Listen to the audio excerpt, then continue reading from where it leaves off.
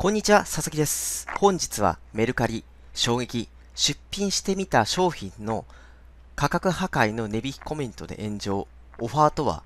というテーマについてお伝えします。それでは、早速行ってみましょう。はい。売っていた時に、えーっとですね、出品者の方から、この価格で売ってくださいと連絡が届きました。で、あの、この機能はですね、ちょっとわからなかったので調べてみたんですけど、メルカリで、オファーという機能はですね、え家電、カメラ、スマホ、えスポーツ、レジャーですね、こちらの方で追加されてできるようになっていたんですね。で、あのこの機能はですね、まあ、購入希望者が商品を購入する際に、値引き価格を、ま、設定して、え価格を提示提示にしていくんですね。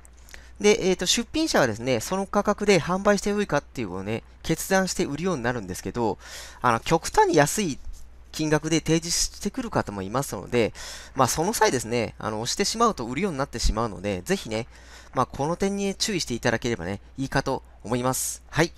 では、LINE 登録お願いします。LINE 登録していただきますと、えー10万円稼げるマル秘マニアをプレゼントします。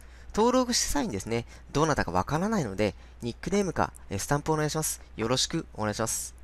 では本日は最後見ていただきありがとうございます。番組登録お待ちします。よろしくお願いします。